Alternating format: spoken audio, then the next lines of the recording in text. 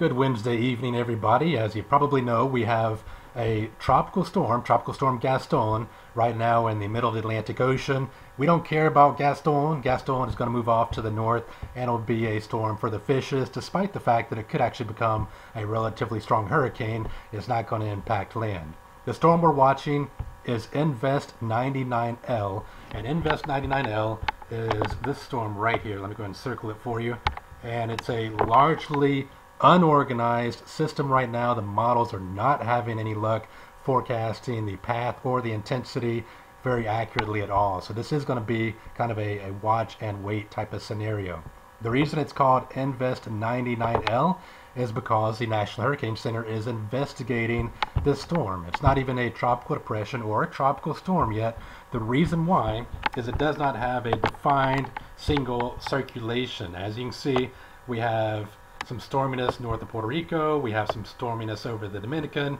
So there's basically a double barrel low with no unified circular storm like you would typically see with a lot of tropical systems. So until this system becomes one unified low pressure system, the models are going to be all over the place. And I don't think that unified system will develop until we move into the weekend. So a lot of the certainty in the path intensity and the, the direction as well. We'll have to wait until the weekend. All right, here's a look at the water vapor imagery. Again, we have the two areas of low pressure, so that's one thing fighting against the storm developing. It's also going to move into an area of dry air, as you can see in the water vapor imagery. This is also an area of wind shear as well, so the possibility does exist that this storm could actually completely fizzle and go away. Now, if it can survive the dry air, the wind shear, and also the double barrel low as it moves westward. When it gets into the western Bahamas, then we're going to see a hurricane or at least a tropical storm develop into the latter weekend and to the early part of next week. So the question is, over the next 48 to 72 hours, what will happen with this storm? Now, what are the models saying? They completely disagree. Here's a look at the European model, uh, which is normally our go-to model. It has been doing the best with tropical systems over the last, uh, I'd say, seven or eight years or so. So it is the more accurate model. Now here's a look at the 12Z model run, which is the model run from this morning. As you can see, here comes the tropical storm, which would most likely be a tropical storm when it moves into the western Bahamas. And then it actually moves into very, very southern Florida as possibly a weak tropical storm and then it continues to move westward and takes a sharp turn to the north. And this particular path would actually be relatively rough for the Tampa Bay area. We would see the low pressure system remain offshore, which will help the storm remain relatively strong. We'll also have a bit of a southwest to northeast wind, which is not good as water will accumulate in the bay and could lead to a bit of storm surge flooding. The model then has the storm moving to the north and making landfall and uh, just east of the Panama City area, and then continuing to move off to the northeast as a relatively strong tropical storm or an extratropical storm. That is the European model. The worst part of the storm would be moving over Tampa Bay as we move into, let's see, here we are Monday morning. This is Monday morning. This is Monday evening. This is Monday night, and this is Tuesday morning. So Tuesday morning is when we would see the worst weather if the European model happens to be 100% correct. All right, what about the GFS model, the American model?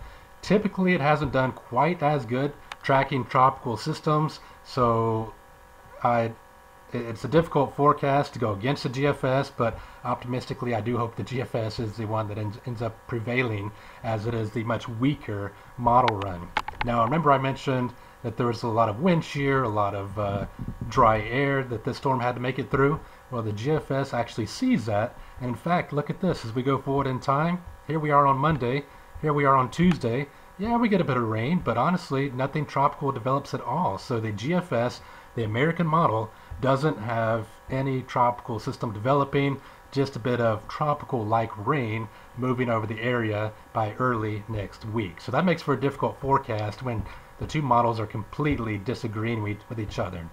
Now one thing you can look at to try to determine uh, which model might be handling the storm better is you can look at model run to model run.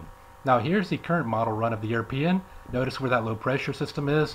Let's go back to a previous model run. Whoa, that low pressure system shifted way out in the Gulf of Mexico.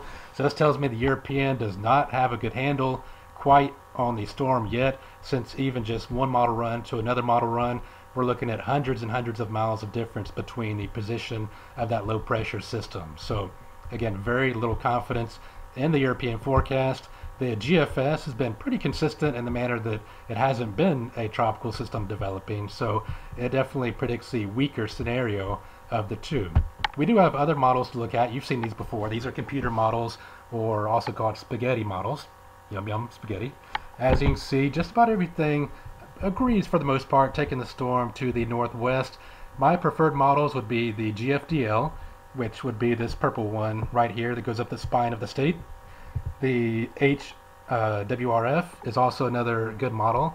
Again, also the purple one with the little uh, circle there. That also goes up the spine of the state as well. Uh, the AVN is a good model. The UK uh, Met, which is your blue line here, also goes up the spine of the state.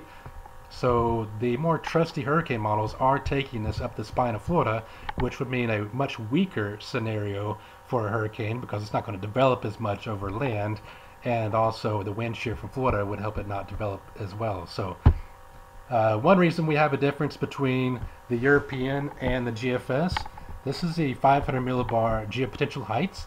All you need to know is that there's a high pressure system forecast to be pretty stubborn and be over the New Jersey and Carolina area. And basically, that is a big bully and will not allow any storms to move past that high pressure. So the low pressure is actually forecast to go more into the Florida panhandle and then make a turn to the north, all because of this blocking high.